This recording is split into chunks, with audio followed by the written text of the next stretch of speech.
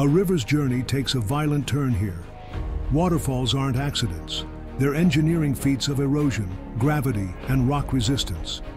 Today, we dissect how they form, evolve, and shape our world.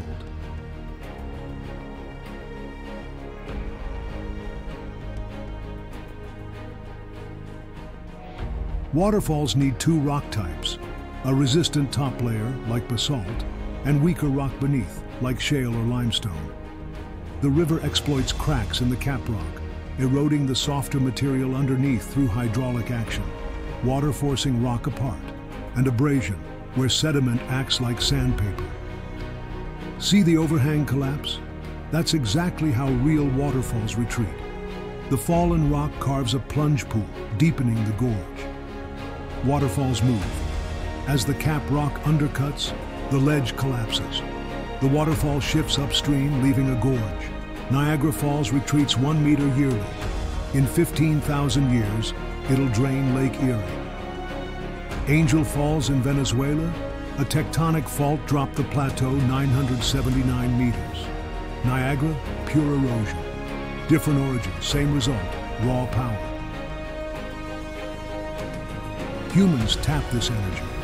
Norway generates 71% of its electricity from waterfalls, but dams silence falls. China's Three Gorges Dam drowned hundreds of cascades.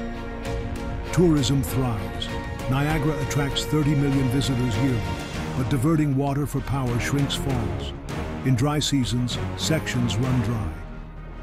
Waterfalls create ecosystems. Plunge pools oxygenate water, supporting fish. Salmon migrate up falls, feeding bears and eagles.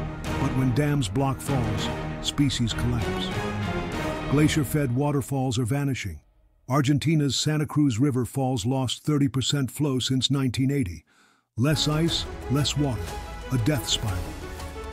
Waterfalls show rivers at their most dramatic. But between those towering drops lies another battleground, rapids.